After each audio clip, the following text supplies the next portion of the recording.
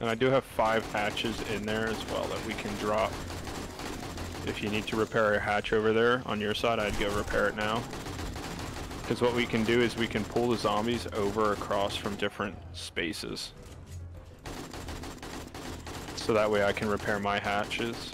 So, And then we can I just put it straight down the way it is? Yeah, you can just put it straight down. Just make sure that the yellow piece is facing the same way as the yellow piece on yours, like on a previous one.